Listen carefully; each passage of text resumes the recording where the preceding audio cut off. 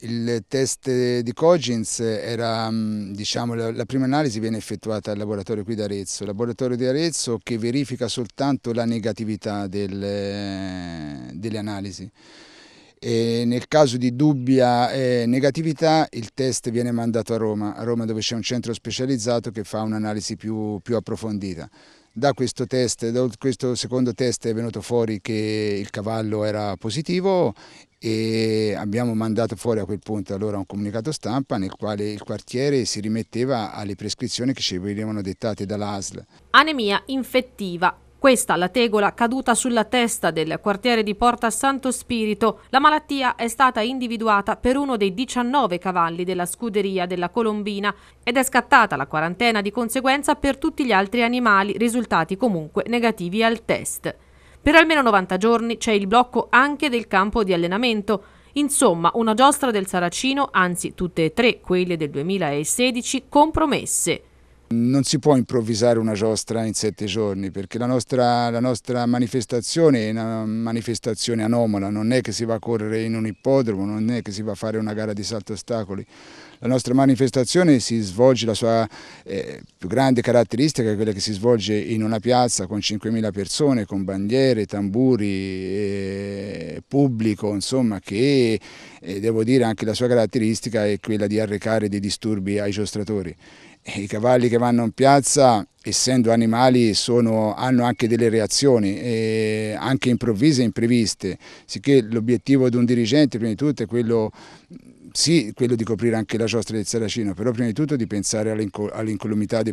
dei, propri atleti, dei propri ragazzi. E oltre quello eh, bisogna pensare anche all'incolumità dei figuranti che sono sulla, ai piedi della lizza e, e, e, al benessere del cavallo, perché possono succedere tante cose e in sette giorni un binomio per corre giostra non si può inventare. La normativa parla chiaro, ma il rettore di Porta Santo Spirito non si arrende e dopo un primo annuncio shock, dove aveva detto che il quartiere sarebbe sceso in Piazza Grande solo con i figuranti, adesso spera nella possibilità di una deroga da parte del Ministero competente. La speranza ad oggi è quella di poter accedere a questa deroga e devo dire, devo ringraziare anche l'amministrazione comunale che si è presa a cuore questa cosa. Eh, io sono stato ieri ricevuto dal, dal, vice sindaco di Arezzo, il dottor Gianfrancesco Gamurrini, che è anche assessore alla giostra del Saracino.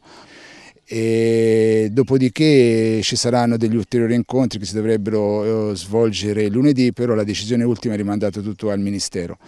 e noi siamo in attesa di avere una risposta, se, se arriva in maniera positiva noi andremo in piazza con i nostri cavalli, anche se poi ben vedere noi abbiamo lavorato su questa struttura che è il nostro fiore all'occhiello e oltre non, non avere la possibilità di avere i cavalli di proprietà, i cavalli delle scuderie, non possiamo utilizzare neanche la, le nostre scuderie perché entra, nel caso in cui dovesse entrare un cavallo anche il cavallo è sottoposto alle stesse prescrizioni di quelli che sono qui dentro. Sicché eh, c'è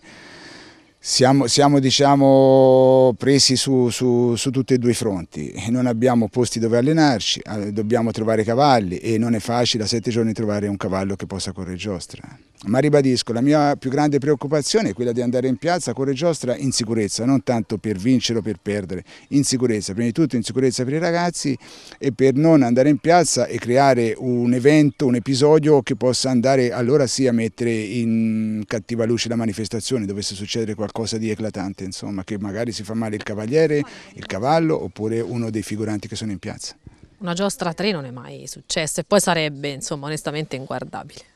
No, io questo qui lo capisco, però io purtroppo da dirigente ho degli, degli obblighi morali insomma, da, da, rispettare e da mantenere. Io mi dispiace per la manifestazione, però credo che eh, l'obbligatorietà di andarla a coprirla in condizioni non ottimali, non in sicurezza, sia peggiore che non fare una giostra 3.